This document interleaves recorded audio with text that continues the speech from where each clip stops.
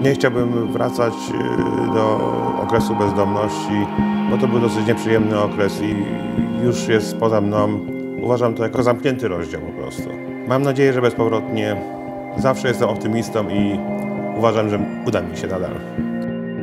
Można powiedzieć, że WSPAK jest faktycznie projektem społecznym, który jest tworzony przez osoby, które były na życiowym zakręcie, w tej chwili z tego zakrętu wyszły na prostą. Jest redagowany przez osoby bezdomne i niepełnosprawne, sprzedawany przez te osoby. My jako zespół dziennikarzy zawodowych w tym im pomagamy. Znam człowieka, który wyszedł y, z bezdomności dzięki temu, że pracował w spaku i udało mu się dzięki temu wyjść na powierzchnię. To było spotkanie na peronie. Klientka kupiła od niego magazyn, zaczęli rozmawiać, jechała dosyć daleko. No i wymienili się telefonami. Później zaczęło się wyzwanianie w jedną i w drugą stronę. No i po jakimś czasie się okazało, że ten kolega właśnie wyszedł ze schroniska, przeprowadził się do niej i z tego co wiem do dzisiaj mieszkają razem. Inny pan, który nocował pod mostem nad Wisłą, w tej chwili też już wynajmuje mieszkanie. Parę osób dzięki wspakowi zupełnie z ulicy trafiło do bardzo miłych, przytulnych schronisk i tam w tej chwili jakby mają to swoje gniazdko i są też również zadowolone.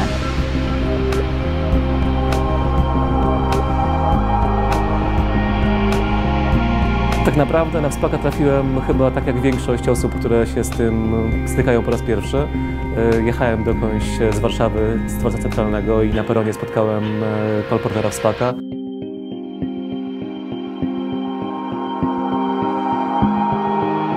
Czytelnikami są osoby empatyczne, wrażliwe społecznie, osoby, które mają czas na rozmowę z kolporterem. Są to najczęściej osoby bardzo ciepłe, przyjazne, w związku z czym jest to dodatkowym impulsem dla naszych e, sprzedawców. Oprócz tego, że sprzedaję, redaguję tutaj krzyżóweczki. Krzyżówka w spak, czyli no taka troszkę od prawej do lewej, od dołu do góry, także jak w spak to w spak.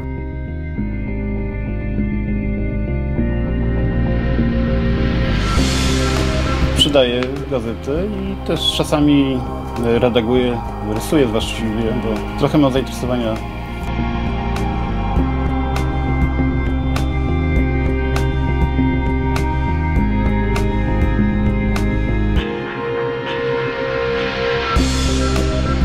I nam też zależy na tym, żeby to nie była jednorazowa inicjatywa, że tutaj nagle w roku walki z ubóstwem Komisja Europejska e, postanowiła wesprzeć tę e, inicjatywę, bo wyobrażam sobie, że w roku wolontariatu też będzie okazja do tego, żeby coś wspólnie zrobić.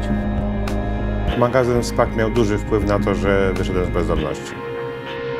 Dał mi jakieś po prostu zajęcie, y, nie musiałem być na schronisku, tylko po prostu byłem już wśród y, ludzi na zewnątrz. Miałem kilku, kilkunastu kolegów, kolporterów.